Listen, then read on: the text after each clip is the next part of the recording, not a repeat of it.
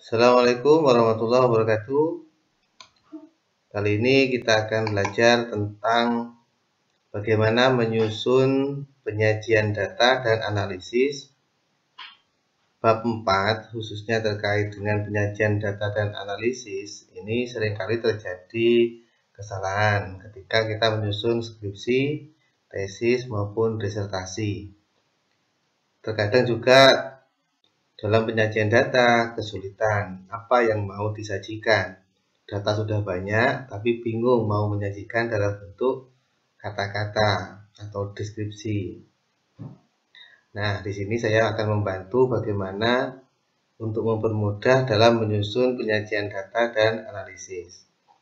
Eh, sebelum kita menyusun penyajian data, kita siapkan dulu rincian indikator dalam setiap fokusnya. Lebih detailnya terkait dengan penyusunan metrik, khususnya terkait eh, mengembangkan indikator dari setiap fokus penelitian, bisa disimak pada tutorial cara mudah membuat metrik penelitian. Nah, di sini nanti yang akan kita masukkan di dalam bab 4 penyajian data itu adalah indikator-indikator di setiap uh, fokus penelitian. Ketika indikator ini jelas, maka penyajian datanya akan benar dan mudah kita dalam menyajikannya. Ketika sudah siap metrik uh, atau indikator yang sudah kita rinci tadi, maka kita membuat kerangkanya dulu di sini bab 4 hasil penelitian dan pembahasan penyajian data dan analisis. Satu misalnya subfokus penelitian ke satu. Di sini saya kasih contoh fokus penelitiannya ada tiga. Maka di sini judulnya subfokus penelitian ke satu. Nanti ada subfokus penelitian kedua dan ketiga. Satu-satu dari fokus penelitian ke satu kita sajikan pertama yaitu terkait dengan data tentang fokus ke satu indikator ke satu. Nah, misalnya tadi itu di sini fokusnya pertama media audio misalnya. Indikatornya radio dan rekaman. Nah, maka di subfokus ke satu kita akan membahas secara panjang lebar tentang radio dan rekaman ini. Begitu dengan fokus 2 dan 3. Itu salah satu contoh dalam mengembangkan penyajian data. Urutannya seperti ini. Kita sajikan dulu nanti terkait dengan indikator 1 dari berbagai uh, sumber atau informan kemudian digabung dengan hasil observasi dan digabung dengan hasil dokumenter. Susunannya seperti ini. Pertama, sebelum kita membahas hasil wawancara yang sudah kita dapatkan, kita alangkah baiknya beri pengantar dulu. Jadi tidak langsung menurut si A mengatakan tidak seperti itu, tapi minimal satu atau dua paragraf itu di awal harus ada pengantarnya terkait dengan fokus penelitian ke satu. Pengantar ini biasanya berisi gambaran secara umum ya terkait dengan eh, kerangka teori yang digunakan untuk mengkaji fokus pertama ini dan bagaimana kondisi yang ada di lapangan terkait dengan fokus pertama ini secara umum satu atau dua paragraf. Nah, baru setelah itu paragraf berikutnya membahas tentang hasil wawancara. Hasil wawancara yang sudah kita dapat kita rekam, kemudian kita eh, rekap dalam rekap hasil wawancara. Misalnya menurut informan A, ini kita rekap semuanya, maka kita sajikan di sini cara yang paling mudah menyajikan wawancara ini rekapan hasil wawancara informan A misalnya. Jadi kita masukkan semua data khusus informan A ini. Misalnya, indikator pertama atau indikator ke satu menurut A, menurut informan A ini, kita sajikan di sini. Tidak usah uh, membahas tentang informan B, langsung di sini. Langsung terkait menurut informan A terkait tentang indikator 2, tentang indikator 3 dan seterusnya. Jadi kita selesaikan dulu informan A disajikan secara keseluruhan kemudian diberikan footnote lebih mudahnya ketika kita menyajikan satu informan secara berurutan itu dalam memberikan footnote kita tidak bergantian jadi tinggal memberi footnote satu kali tinggal copy paste dipindah ke eh, bagian-bagian yang lain itu yang pertama setelah kita menyajikan hasil wawancara menurut informan A tentang indikator 1, di bawah hasil wawancara itu kita analisis. Jadi tidak langsung berlanjut pada informan B. Tapi kita analisis dulu menggunakan bahasa kita sendiri. Caranya ini kan hasil wawancara, artinya kalimat langsung nanti di sini. Satu spasi diberi tanda kutip itu kita copy di bawahnya, kita kembangkan menggunakan bahasa sendiri. Biasanya diawali dengan kata, dari keterangan tersebut dapat kita pahami bahwa apa. Nah, ini namanya analisis tentang wawancara di atas. Nah, setelah kita analisis, maka di bawahnya kita menyajikan menurut informan B tentang indikator yang sama atau tentang e, masalah yang sama. Artinya di sini adalah triangulasi sumber membandingkan dengan sumber yang berbeda tentang aspek yang sama. Kita akan menanyakan tentang indikator indikator satu ini pada informan A kita bandingkan dengan informan yang lain. Itu namanya triangulasi sumber. Nah, sama seperti yang tadi, kita analisis hasil wawancara eh, kepada informan B ini. Sama, kita analisis apa makna di dalam eh, teks wawancara itu. Ini boleh minimal dua atau tiga atau dan seterusnya silakan dikembangkan sendiri bisa do, uh, informan C, D, dan seterusnya.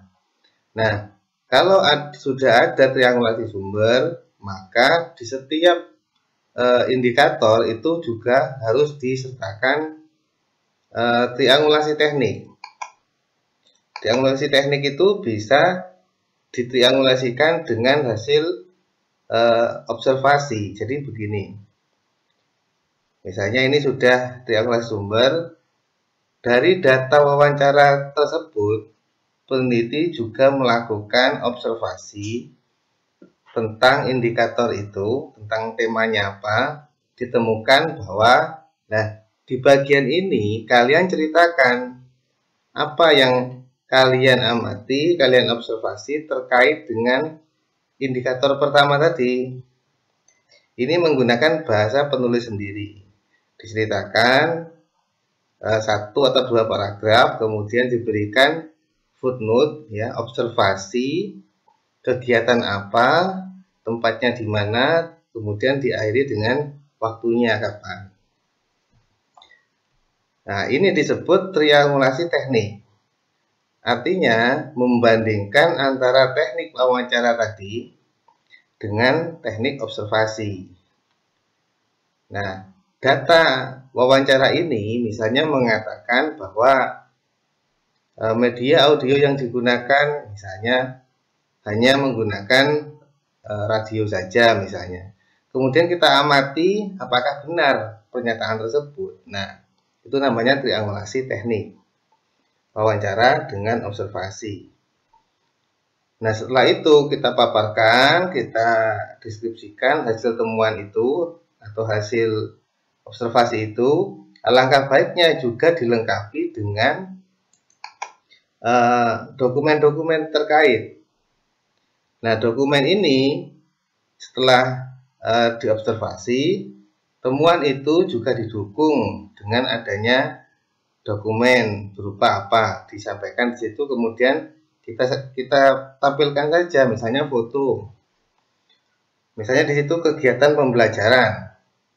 Di observasi kita menceritakan kegiatan pembelajaran menggunakan media apa gitu kemudian kita sertakan foto bukti eh, penggunaan media itu dalam pembelajaran. Nah ini namanya triangulasi teknik dengan dokumen Nah, kemudian boleh juga profil, profil atau struktur atau naskah-naskah kita foto, kita scan, kita tampilkan di dalam bagian ini. Nah, saran saya, foto ini adalah bukan foto ketika peneliti melakukan wawancara pada informan. Foto-foto yang lain yang tidak ada kaitannya dengan uh, data ini itu boleh nanti dilampirkan pada bagian akhir karena itu hanya sebatas pendukung. Alangkah baiknya foto-foto ini adalah yang terkait dengan data-data indikator yang diteliti. Terkait dengan indikator satu misalnya sudah ada wawancara, sudah ada observasi dan dokumen, maka di sini terkait dengan temu indikator satu disimpulkan temuannya apa. Di temuan ini, alangkah baiknya itu sampaikan di situ yang unik-unik, temuan yang unik yang apa menjadi novelty nanti untuk e, dibahas di bagian selanjutnya terkait dengan indikator satu. Nah, setelah itu, setelah indikator satu selesai, maka berlanjut kepada indikator kedua. Nah, ini dengan susunan sama persis dengan eh, paparan sebelumnya tadi itu. Ada wawancara kemudian analisis wawancara lagi dianalisis paparan hasil observasi kemudian dokumen disimpulkan khusus indikator kedua. Nah ketika seluruh indikator sudah kita paparkan baik itu dari wawancara observasi maupun dokumenter di bagian akhir fokus penelitian satu itu adalah simpulan temuan tentang fokus ke satu. Jadi ini adalah kesimpulan secara keseluruhan terkait dengan fokus ke satu tadi. Nah ini nanti akan kita copy paste, kita bahas pada bagian pembahasan. Nah, ini namanya kesimpulan tentatif. Nanti ketika sudah dibahas, maka akan menjadi kesimpulan yang grounded atau tetap. Kemudian terkait dengan fokus kedua dan ketiga itu menyesuaikan sama susunannya seperti pada fokus pertama tadi. Nah, di akhir penyajian data itu alangkah baiknya diberikan tabel temuan penelitian ya. Jadi formatnya seperti ini. Temuan penelitian. Fokus penelitian. Ada fokus 1 2 3 di kolom berikutnya adalah indikator. Fokus 1 ada beberapa indikator misalnya ada dua. Temuan terkait dengan indikator pertama itu apa? Nah ini kita ambil dari simpulan tadi itu. Nah misalnya indikator pertama, fokus pertama atau fokus ke satu, kita ambil dari sini. Ini simpulan temuan indikator satu. Kita copy, kita pindah di sini. Temuan penelitian dengan bahasa yang singkat. Begitu juga indikator kedua dan seterusnya. Nah, temuan-temuan ini nanti yang akan kita bahas pada bagian pembahasan. Yang ini akan nanti saya jelaskan pada tutorial yang akan datang karena ini juga detail pembahasannya. Nah, dari tutorial tadi, petunjuk tadi, saya berikan salah satu contoh skripsi yang sudah jadi, yang menurut saya eh, cukup bagus, yang bisa dijadikan sebagai eh, contoh penyajian data dan analisis. Misalnya ini. Ini fokusnya ada tiga. Fokus satu, internalisasi nilai-nilai ukhuwah Islamiyah melalui kegiatan rukun kematian urut dolam misalnya. Paragraf ini adalah paragraf pengantar. Kemudian setelah itu disajikan hasil wawancara yang pertama. Nah setelah itu dikuatkan, ditriangulasikan dengan hasil wawancara menurut informan lain. Ini namanya triangulasi sumber. Nah, setelah wawancara didukung dengan adanya dokumen, bukti-bukti terkait dengan data itu. Ini namanya triangulasi teknik dengan e, dokumen. Kemudian di sini diberikan e, kesimpulan, kesimpulan indikator pertama. Berdasarkan hasil pernyataan dan observasi tersebut, ya, ditemukan bahwa tahap begini-begini begini misalnya. Ini adalah kesimpulan indikator pertama.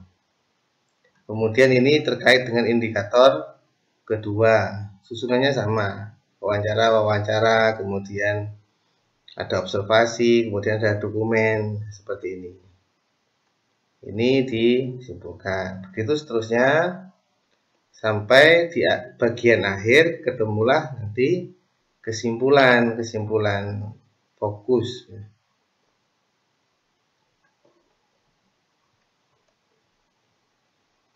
Nah, misalnya ini di bagian ini.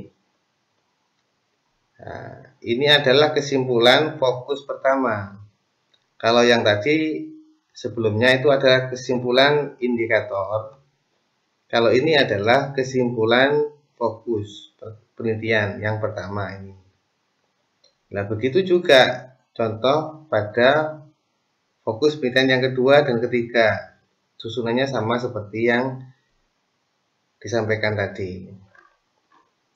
Mungkin cukup itu saja dari saya. Semoga bermanfaat. Mohon maaf apabila ada sajian yang kurang berkenan.